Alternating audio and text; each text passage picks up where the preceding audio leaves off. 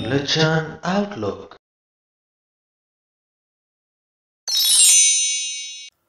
ਸਤਨਾਮ ਸ਼੍ਰੀ ਵਾਹਿਗੁਰੂ ਜੀ ਹਰ ਜੀਵ ਦੇ ਲਈ ਬੜੀਆਂ ਹੀ ਚੀਜ਼ਾਂ ਅਜਈਆਂ ਹੁੰਦੀਆਂ ਨੇ, ਜਿਨ੍ਹਾਂ ਤੋਂ ਬਿਨਾ ਉਹਦਾ ਜੀਵਨ ਸੰਭਵ ਨਹੀਂ ਕੁਝ ਚੀਜ਼ਾਂ ਅਜਈਆਂ ਵੀ ਹੁੰਦੀਆਂ ਨੇ ਜਿਨ੍ਹਾਂ ਤੋਂ ਬਿਨਾਂ ਉਹਦਾ ਜੀਵਨ ਤੇ ਸੰਭਵ ਹੈ, ਪਰ ਆਪਣੇ ਜੀਵਨ ਨੂੰ ਜਿੱਦਾਂ ਦਾ ਉਹਨੇ ਬਣਾ ਲਿਆ, ਉਹਨਾਂ ਚੀਜ਼ਾਂ ਤੋਂ ਬਿਨਾਂ ਉਸ ਜੀਵਨ ਦੇ ਵਿੱਚ ਆਨੰਦ ਸੰਭਵ ਨਹੀਂ।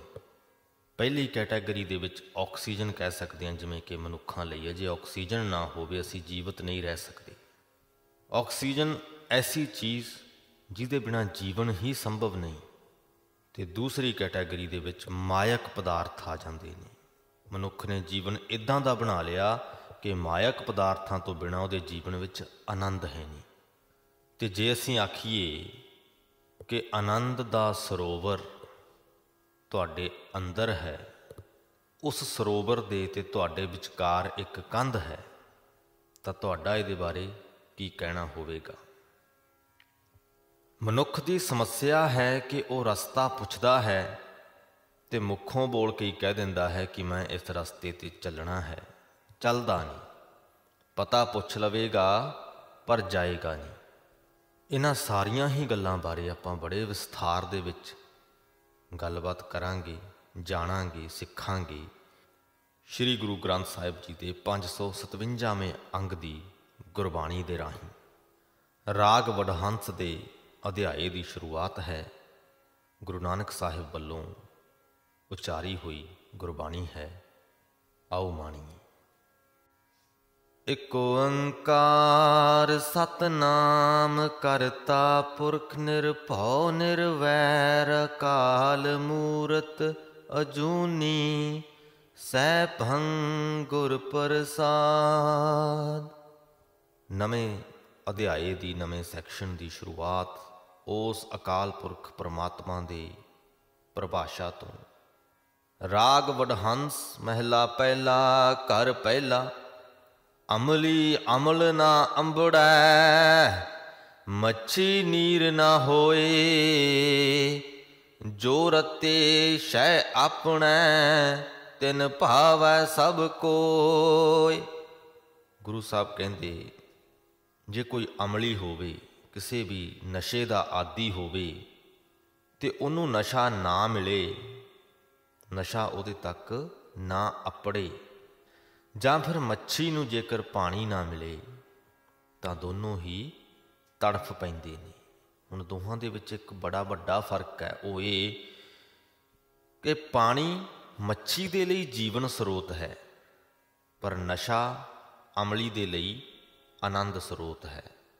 ਜੇ ਉਹਨੂੰ ਨਸ਼ਾ ਨਾ ਮਿਲੇ, ਉਹਦਾ ਜੀਵਨ ਖਤਮ ਨਹੀਂ ਹੋਣ ਲੱਗਿਆ, ਮੱਛੀ ਨੂੰ ਪਾਣੀ ਨਾ ਮਿਲੇ ਤੇ ਉਹਦਾ ਜੀਵਨ ਖਤਮ ਹੋ ਜਾਏਗਾ। ਇਹ ਦੋ ਕੈਟੇਗਰੀਆਂ ਦੀ ਪਦਾਰਥ ਨੇ ਜਿਨ੍ਹਾਂ ਦੀ ਆਪਾਂ ਬਿਲਕੁਲ ਸ਼ੁਰੂਆਤ ਦੇ ਵਿੱਚ ਗੱਲ ਕੀਤੀ। ਇਹ ਗੱਲ ਕਰਕੇ ਗੁਰੂ ਸਾਹਿਬ ਸਾਨੂੰ ਹਲੂਣਾ ਦੇ ਰਹੇ ਨੇ ਕਿ ਜਿਵੇਂ ਮੱਛੀ ਦੇ ਲਈ ਪਾਣੀ ਹੈ, ਅਮਲੀ ਦੇ ਲਈ ਅਮਲ ਹੈ, ਤੂੰ ਆਪਣੇ ਜੀਵਨ ਦੇ ਲਈ ਉਸ ਪ੍ਰਭੂ ਦਾ ਨਾਮ ਬਣਾ ਲੈ। ਕਿ ਤੈਨੂੰ ਜੇ ਨਾਮ ਨਾ ਮਿਲੇ ਤੇ ਤੂੰ ਤੜਫ ਉੱਠੇ। ਜੋ ਰੱਤੇ ਸ਼ੈ ਆਪਣਾ, ਤਿੰਨ ਭਾਵੈ ਸਭ ਕੋਏ, ਬੜੀ ਖੂਬਸੂਰਤ ਗੱਲ, ਬੜੀ ਹੀ ਖੂਬਸੂਰਤ ਗੱਲ। ਗੁਰੂ ਸਾਹਿਬ ਨੇ ਲਿਖੀ ਹੈ ਕਿ ਜੋ ਬੰਦੇ ਆਪਣੇ ਖਸਮ ਪ੍ਰਭੂ ਦੇ ਪਿਆਰ ਵਿੱਚ ਰੰਗੇ ਹੋਏ ਹਨ, ਉਹਨਾਂ ਨੂੰ ਸਾਰੇ ਹੀ ਚੰਗੇ ਲੱਗਦੇ ਨੇ। ਉਹਨਾਂ ਨੂੰ ਜੀਵਨ ਦੇ ਵਿੱਚ, ਦੁਨੀਆ ਦੇ ਉੱਪਰ ਕੁਝ ਬੁਰਾ ਲੱਗਦਾ ਹੀ ਨਹੀਂ, ਉਹਨਾਂ ਨੂੰ ਸਾਰੇ ਹੀ ਚੰਗੇ ਲੱਗਦੇ ਨੇ। ਹਉ ਵਾਰੀ ਵੰਜਾਂ ਖੰਨੀਆਂ ਵੰਜਾਂ ਤੋ ਸਾਹਿਬ ਕੇ ਨਾਮੈ ਰਹਾਉ। हे ਮੇਰੇ ਸਾਹਿਬ, ਮੈਂ ਤੇਰੇ ਨਾਮ ਤੋਂ ਸਦਕੇ ਜਾਂਦਾ ਹਾਂ, ਕੁਰਬਾਨ ਜਾਂਦਾ ਹਾਂ। ਸਾਹਿਬ ਸਫਲਿਓ ਰੁਖੜਾ, ਅੰਮ੍ਰਿਤ ਜਾ ਕਾ ਨਾਉ। ਜਿਨ ਪੀਆ ਤੇ ਤ੍ਰਿਪਤ ਭਏ, ਹਉ ਤਿਨ ਬਲਿਹਾਰੈ ਜਾਉ। ਜੇ ਸਾਹਿਬ ਮਾਲਕ ਪ੍ਰਭੂ, ਫਲਾਂ ਵਾਲਾ ਇੱਕ ਸੋਹਣਾ ਰੁੱਖ ਹੋਵੇ, ਤਾਂ ਉਸ ਰੁੱਖ ਦੇ ਉੱਪਰ ਲੱਗਣ ਵਾਲਾ ਫਲ ਹੈ ਉਸ ਪ੍ਰਭੂ ਦਾ ਨਾਮ, ਜੋ ਅੰਮ੍ਰਿਤ ਸਰੂਪ ਹੈ। ਇੱਕ ਐਸਾ ਫਲ ਜੋ ਜੀਵ ਨੂੰ ਅਟਲ ਆਤਮਿਕ ਜੀਵਨ ਦੇਣ ਵਾਲਾ ਰਸ ਹੈ, ਜਿਨ੍ਹਾਂ ਨੇ ਇਹ ਰਸ ਪੀਤਾ ਹੈ, ਉਹ ਤ੍ਰਿਪਤ ਹੋ ਗਏ। ਉਹਨਾਂ ਨੂੰ ਮਾਇਕ ਪਦਾਰਥਾਂ ਦੀ ਭੁੱਖ ਜਾਂ ਤਰੇ ਨਹੀਂ ਰਹਿ ਗਈ। ਗੁਰੂ ਸਾਹਿਬ ਕਹਿੰਦੇ, ਹਉ ਤਿੰਨ ਬਲਿਹਾਰੈ ਜਾਓ, ਮੈਂ ਉਹਨਾਂ ਤੋਂ ਕੁਰਬਾਨ ਜਾਂਦਾ ਹਾਂ। ਮੈਂ ਕੀ ਨਦਰ ਨਾ ਆਵਹੀ ਵਸ ਹੈ ਹੱਬੀਆਂ ਨਾਲ। ਤਿੱਖਾ ਧਿਆਇਆ ਕਿਉ ਲਹੈ, ਜਾਂ ਸਰ ਭੀਤਰ ਪਾਲ? हे ਪ੍ਰਭੂ, ਤੂੰ ਸਭ ਜੀਵਾਂ ਦੇ ਅੰਗ ਸੰਗ ਵਸਦਾ ਹੈ। ਪਰ ਮੈਨੂੰ ਨਹੀਂ ਦਿਸਦਾ। ਜੀਵ ਦੀ ਇਹ ਕਿਤਨੀ ਅਭਾਗਤਾ ਹੈ ਕਿ ਉਸ ਦੇ ਆਪਣੇ ਅੰਦਰ ਪਾਣੀ ਦਾ ਸਰੋਵਰ ਹੈ ਤੇ ਉਹ ਪਿਆਸਾ ਤੜਫਦਾ ਫਿਰਦਾ ਹੈ। ਕਾਰਨ ਕੀ ਹੈ ਕਿ ਉਸ ਸਰੋਵਰ ਦੇ ਤੇ ਜੀਵ ਦੇ ਵਿਚਕਾਰ ਖੜੀ ਹੈ ਮਾਇਆ ਦੀ ਕੰਧ। ਇਸ ਕਰਕੇ ਜੀਵ ਜੋ ਹਨ ਤਰੇ ਨਾਲ ਤੜਪ ਰਹੇ ਹਨ। ਪਾਣੀ ਉਹਨਾਂ ਨੂੰ ਕਿਵੇਂ ਲੱਭੇ? ਜਦ ਤੱਕ ਵਿਚਕਾਰ ਮਾਇਆ ਦੀ ਕੰਧ ਬਣੀ ਪਈ ਹੈ। ਜਿਸ ਜੀਵ ਦੇ ਉੱਪਰ ਉਸ ਪ੍ਰਭੂ ਦੀ ਮਿਹਰ ਹੋ ਜਾਵੇ, ਉਹਦੇ ਅੰਦਰੋਂ ਇਹ ਕੰਧ ਟਹਿ ਜਾਂਦੀ ਹੈ। ਉਹਨੂੰ ਨਾਮ ਰੂਪ ਫਲ ਮਿਲ ਜਾਂਦਾ ਹੈ, ਉਹਦੀ ਤ੍ਰਿਪਤੀ ਹੋ ਜਾਂਦੀ ਹੈ। ਜਦੋਂ ਮਾਇਕ ਪਦਾਰਥਾਂ ਵੱਲੋਂ ਤ੍ਰਿਪਤੀ ਹੋ ਗਈ, ਤੇ ਸਮਝੋ ਮਾਇਆ ਦੀ ਕੰਧ ਢੱਠ ਗਈ। ਤੇ ਜਦੋਂ ਉਹ ਕੰਧ ਢੱਠ ਗਈ ਤੇ ਨਾਮ ਅੰਮ੍ਰਿਤ ਸਰੋਵਰ ਜੋ ਸਾਡੇ ਅੰਦਰ ਵਸਦਾ ਹੈ, ਉਹਦੇ ਤੱਕ ਸਾਡੀ ਪਹੁੰਚ ਹੋ ਜਾਂਦੀ ਹੈ। ਹੁੰਦੀ ਤਾਂ ਹੈ ਜੇ ਪ੍ਰਭੂ ਸਾਡੇ ਤੇ ਮਿਹਰ ਕਰੇ। ਅਸੀਂ ਅਰਦਾਸ ਕਰ ਸਕਦੇ ਹਾਂ ਉਸ ਪ੍ਰਮਾਤਮਾ ਅੱਗੇ ਕਿ हे ਪ੍ਰਭੂ, ਸਾਡੇ ਤੇ ਮਿਹਰ ਕਰੋ। ਤੁਹਾਡਾ ਨਾਮ ਰੂਪ ਫਲ ਸਾਨੂੰ ਬਖਸ਼ੋ ਤਾਂ ਕਿ ਉਸ ਫਲ ਦੀ ਮਦਦ ਦੇ ਨਾਲ ਅਸੀਂ ਤੁਹਾਡੇ ਨਾਮ ਅੰਮ੍ਰਿਤ ਸਰੋਵਰ ਤੱਕ ਪਹੁੰਚ ਕਰ ਸਕੀਏ। ਨਾਨਕ ਤੇਰਾ ਬਾਣੀਆਂ, ਤੂੰ ਸਾਹਿਬ ਮੈਂ ਰਾਸ। ਮਨ ਤੇ ਧੋਖਾ ਤਾਂ ਲਹੈ, ਜਾਂ ਸਿਫਤ ਕਰੀ ਅਰਦਾਸ। हे ਪ੍ਰਭੂ, ਮਿਹਰ ਕਰ ਤੇਰਾ ਦਾਸ ਨਾਨਕ ਤੇਰੇ ਨਾਮ ਦਾ, ਵਣਜਾਰਾ ਬਣ ਜਾਏ।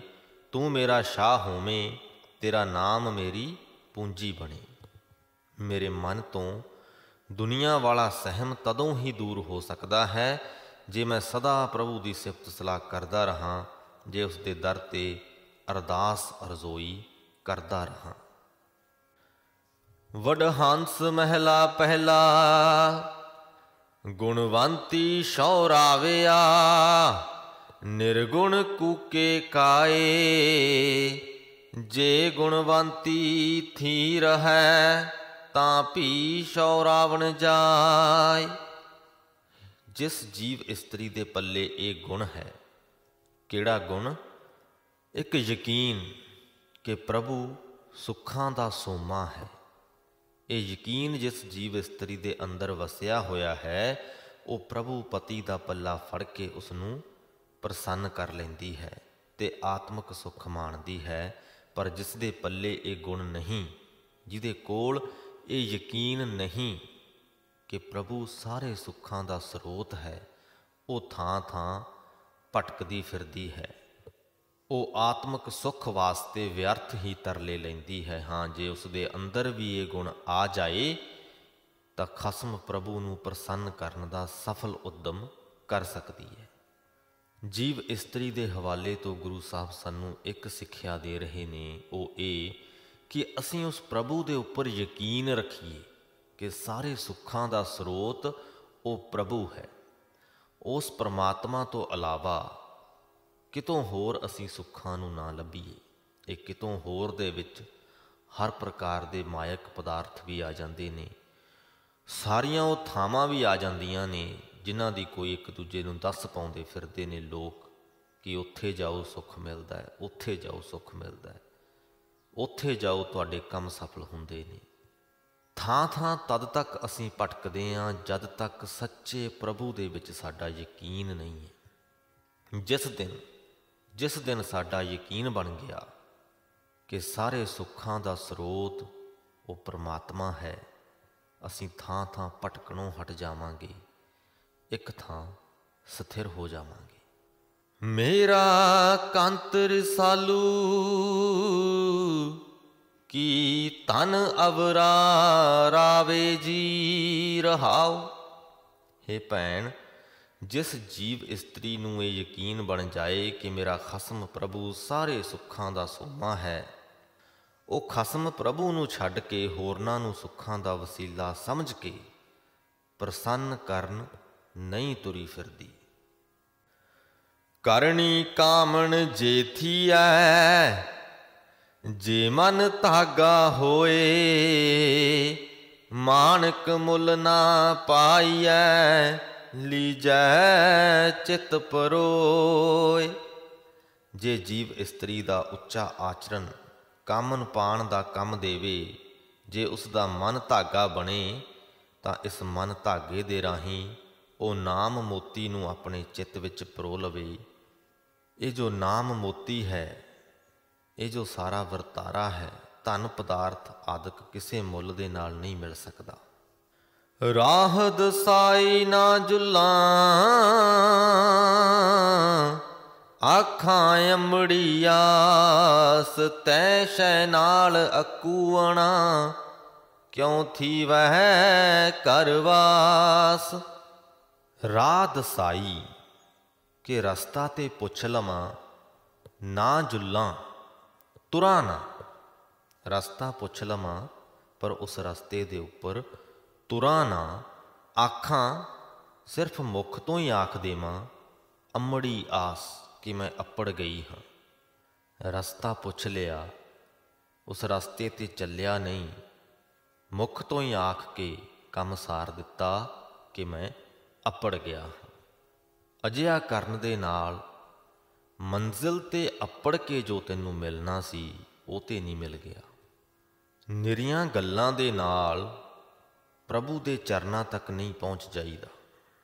ਤੈ ਸ਼ੈ ਨਾਲ ਅਕੂਣਾ ਕਿਉਂ ਥੀਵੈ ਘਰ ਵਾਸ, ਜੇਕਰ ਉਸ ਪ੍ਰਮਾਤਮਾ ਦੇ ਨਾਲ ਬੋਲਚਾਲ ਨਾ ਬਣਾਈ ਜਾਵੇ, ਉਹਦੇ ਦਰ ਤੇ ਕਦੇ ਅਰਦਾਸ ਹੀ ਨਾ ਕੀਤੀ ਜਾਵੇ ਤਾਂ ਉਹਦੇ ਚਰਨਾਂ ਵਿੱਚ ਟਿਕਾਣਾ ਨਹੀਂ ਮਿਲਦਾ। ਪ੍ਰਭੂ ਦੇ ਦਰ ਤੇ ਸੱਚੇ ਦਿਲੋਂ ਅਰਦਾਸ ਨਾ ਕਰਨਾ ਤੇ ਉਹਦੇ ਚਰਨਾਂ ਦੇ ਵਿੱਚ ਟਿਕਾਣਾ ਲੱਭਣ ਦੀ ਆਸ ਰੱਖਣਾ ਉਸੇ ਪ੍ਰਕਾਰ ਹੈ ਕਿ ਰਸਤਾ ਪੁੱਛ ਲੈਣਾ, ਚੱਲਣਾ ਨਾ ਤੇ ਮੰਜ਼ਿਲ ਤੇ ਪਹੁੰਚਣ ਦੀ ਆਸ ਰੱਖਣਾ। ਨਾਨਕ ਏਕੀ ਬਾਹਰਾ, ਦੂਜਾ ਨਾਹੀ ਕੋਏ ਤੈ ਸ਼ੈ ਲੱਗੀ ਜੇ ਰਹੈ, ਭੀ ਸ਼ੌਰਾ ਵੈ ਸੋਏ। ਇਹ ਨਾਨਕ, ਇਹ ਯਕੀਨ ਜਾਣ ਕਿ ਇੱਕ ਪਰਮਾਤਮਾ ਤੋਂ ਬਿਨਾ ਹੋਰ ਕੋਈ ਵੀ ਸੁਖ ਦਾਤਾ ਨਹੀਂ। ਇਸ ਕਰਕੇ ਉਸ ਦੇ ਦਰ ਤੇ ਅਰਦਾਸ ਕਰਕੇ ਆਖ हे ਪ੍ਰਭੂ ਪਤੀ ਜਿਹੜੀ ਜੀਵ ਇਸਤਰੀ ਤੇਰੇ ਚਰਨਾਂ ਵਿੱਚ ਜੁੜੀ ਰਹਿੰਦੀ ਹੈ, ਉਹ ਤੈਨੂੰ ਪ੍ਰਸੰਨ ਕਰ ਲੈਂਦੀ ਹੈ ਤੇ ਆਤਮਿਕ ਸੁਖ ਮਾਣਦੀ ਹੈ। ਵਡਹੰਸ ਮਹਿਲਾ ਪਹਿਲਾ ਕਰ ਦੂਜਾ, ਮੋਰੀ ਰੁਣ ਝੁਣ ਲਾਇਆ। ਭੈਣੇ ਸਾਵਣ ਆਇਆ, ਤੇਰੇ ਮੁੰਦ ਕਟਾਰੇ ਜੀਵੜਾ, ਤਿਨ ਲੋਭੀ ਲੋਭ ਲੁਭਾਇਆ। हे ਭੈਣ ਸਾਵਣ ਦਾ ਮਹੀਨਾ ਆ ਗਿਆ ਹੈ। ਸਾਵਣ ਦੀਆਂ ਕਾਲੀਆਂ ਘਟਾਂ ਵੇਖ ਕੇ ਸੋਹਣੇ ਮੋਰਾਂ ਨੇ ਮਿੱਠੇ ਗੀਤ ਗਾਣੇ ਸ਼ੁਰੂ ਕਰ ਦਿੱਤੇ ਹਨ ਤੇ ਪਹਿਲਾਂ ਪਾਣੀਆਂ ਸ਼ੁਰੂ ਕਰ ਦਿੱਤੀਆਂ ਹਨ। हे ਪ੍ਰਭੂ, ਤੇਰੀ ਇਹ ਸੋਹਣੀ ਕੁਦਰਤ ਮੈਂ ਜੀਵ ਇਸਤਰੀ ਵਾਸਤੇ ਮਾਨੋ ਕਟਾਰ ਹੈ, ਜੋ ਮੇਰੇ ਅੰਦਰ ਬਿਰਹੋਂ ਦੀ ਚੋਟ ਲਾ ਰਹੀ ਹੈ। ਫਾਹੀ ਹੈ ਇਸ ਨੇ ਮੈਨੂੰ ਤੇਰੇ ਦੀਦਾਰ ਦੀ ਪ੍ਰੇਮਣ ਨੂੰ ਮੋਹ ਲਿਆ ਹੈ ਤੇ ਮੈਨੂੰ ਤੇਰੇ ਚਰਨਾਂ ਵਿੱਚ ਖਿੱਚੀ ਜਾ ਰਹੀ ਹੈ। ਤੇਰੇ ਦਰਸ਼ਨ ਵਿਟੋਂ ਖੰਨੀਆਂ ਵੰਜਾਂ, ਤੇਰੇ ਨਾਮ ਵਿਟੋਂ ਕੁਰਬਾਨੋ, ਜਾਂ ਤੂੰ ਤਾਂ ਮੈਂ ਮਾਨ ਕੀਆ ਹੈ, ਤੁਧ ਬਿਨ ਕਿਹਾ ਮੇਰਾ ਮਾਨੋ हे ਪ੍ਰਭੂ, ਤੇਰੇ ਇਸ ਸੋਹਣੇ ਸਰੂਪ ਤੋਂ ਜੋ ਹੁਣ ਦਿਸ ਰਿਹਾ ਹੈ ਕੁਦਰਤ ਦੇ ਵਿੱਚ। ਗੁਰੂ ਸਾਹਿਬ ਕਹਿੰਦੇ, ਮੈਂ ਸਦਕੇ ਹਾਂ ਸਦਕੇ ਹਾਂ, ਤੇਰਾ ਇਹ ਸਰੂਪ ਮੈਨੂੰ, ਤੇਰਾ ਨਾਮ ਚੇਤੇ ਕਰਾ ਰਿਹਾ ਹੈ ਤੇ ਮੈਂ ਤੇਰੇ ਨਾਮ ਤੋਂ ਕੁਰਬਾਨ ਹਾਂ। हे ਪ੍ਰਭੂ, ਚੂੰਕਿ ਤੂੰ ਇਸ ਕੁਦਰਤ ਵਿੱਚ ਮੈਨੂੰ ਦਿਸ ਰਿਹਾ ਹੈ, ਮੈਂ ਇਹ ਆਖਣ ਦਾ ਹੌਸਲਾ ਕੀਤਾ ਹੈ ਕਿ ਤੇਰੀ ਇਹ ਕੁਦਰਤ ਸੁਹਾਵਣੀ ਹੈ। ਜੇ ਕੁਦਰਤ ਵਿੱਚ ਤੂੰ ਨਾ ਦਿਸੇ, ਤਾਂ ਇਹ ਆਖਣ ਵਿੱਚ ਕੀ ਸਵਾਦ ਰਹਿ ਜਾਏ? ਕਿ ਕੁਦਰਤ ਸੋਹਣੀ ਹੈ। ਪ੍ਰਭੂ ਦੀ ਬਣਾਈ ਹੋਈ ਕੁਦਰਤ ਦੇ ਵਿੱਚੋਂ ਪ੍ਰਭੂ ਦੇ ਦੀਦਾਰ ਦੀ ਗੱਲ ਗੁਰੂ ਸਾਹਿਬ ਇਸ ਸ਼ਬਦ ਦੇ ਵਿੱਚ ਕਰਦੇ ਪਏ ਹਨ, ਜੋ ਆਪਾਂ ਹਮੇਸ਼ਾ ਕਹਿੰਦੇ ਹਾਂ ਕਿ ਵਗਦੀਆਂ ਹਵਾਵਾਂ ਚੋਂ, ਝੂਲ ਦੇ ਦਰਖਤਾਂ ਚੋਂ ਹਿਲਦੇ ਪੱਤਰਾਂ ਚੋਂ ਉਸ ਪ੍ਰਭੂ ਦੇ ਦਰਸ਼ਨ ਹੁੰਦੇ ਨੇ। ਜੇ ਵਿਰਤੀ ਉਹਦੇ ਨਾਲ ਜੁੜੀ ਹੋਈ ਹੋਵੇ ਤਾਂ। ਸੋ ਇਸ ਦੇ ਨਾਲ ਹੀ ਸ੍ਰੀ ਗੁਰੂ ਗ੍ਰੰਥ ਸਾਹਿਬ ਜੀ ਦੇ 557ਵੇਂ ਅੰਗ ਦੀ ਗੁਰਬਾਣੀ ਦੀ ਵਿਆਖਿਆ ਦੀ ਸਮਾਪਤੀ ਹੁੰਦੀ ਹੈ ਜੀ। ਅੱਜ ਦੀ ਗੁਰਬਾਣੀ ਦੇ ਵਿੱਚੋਂ ਅਸੀਂ ਜੀਵਨ ਤੇ ਆਨੰਦ ਦੇ ਲਈ ਜ਼ਰੂਰੀ ਪਦਾਰਥਾਂ ਦੇ ਬਾਰੇ ਜਾਣਿਆ ਤੇ ਗੁਰੂ ਸਾਹਿਬ ਨੇ ਸਾਨੂੰ ਆਗ੍ਰਹਿ ਕੀਤਾ ਕਿ ਅਸੀਂ ਪ੍ਰਮਾਤਮਾ ਦੇ ਨਾਮ ਨੂੰ ਆਪਣੇ ਜੀਵਨ ਦਾ ਇੱਕ ਜ਼ਰੂਰੀ, ਅਤਿਅੰਤ ਜ਼ਰੂਰੀ ਹਿੱਸਾ ਬਣਾਈਏ ਕਿ ਜਦ ਨਾਮ ਨਾ ਮਿਲੇ ਤੇ ਸਾਡੇ ਅੰਦਰ ਤੜਫ ਪੈਦਾ ਹੋਵੇ। ਦੂਸਰੀ ਗੱਲ, ਜੇ ਪ੍ਰਭੂ ਦੇ ਚਰਨਾਂ ਦੇ ਵਿੱਚ ਟਿਕਾਣਾ ਬਣਾਉਣਾ ਹੈ, ਤੇ ਉਹਦੇ ਦਰ ਤੇ ਅਰਦਾਸ ਕਰਨੀ ਪਏਗੀ। ਤੇ ਅਰਦਾਸ ਦੁਨਿਆਵੀ ਸੁੱਖ ਸਹੂਲਤਾਂ ਲਈ ਨਹੀਂ, ਉਸ ਪ੍ਰਮਾਤਮਾ ਦੇ ਚਰਨਾਂ ਵਿੱਚ ਟਿਕਾਣੇ ਵਾਸਤੇ। ਤੇ ਤੀਸਰਾ, ਉਸ ਪ੍ਰਮਾਤਮਾ ਦੀ ਬਣਾਈ ਹੋਈ ਇਸ ਵਡਮੁੱਲੀ ਕੁਦਰਤ ਦੇ ਵਿੱਚੋਂ ਉਹਦਾ ਦੀਦਾਰ ਕਰਨ ਦੀ ਕੋਸ਼ਿਸ਼ ਕਰੀਏ। ਪ੍ਰਭੂ ਜੀ ਸਾਡੇ ਤੇ ਮਿਹਰ ਕਰਨ। ਇਸੇ ਅਰਦਾਸ ਬੇਨਤੀ ਦੇ ਨਾਲ ਹੀ ਅੱਜ ਦੀ ਵੀਡੀਓ ਦੀ ਸਮਾਪਤੀ ਕਰਦੇ ਹਾਂ ਜੀ। ਬੁਲਾਓ ਫਤਿਹ। ਵਾਹਿਗੁਰੂ ਜੀ ਕਾ ਖਾਲਸਾ। ਵਾਹਿਗੁਰੂ ਜੀ ਕੀ ਫਤਿਹ।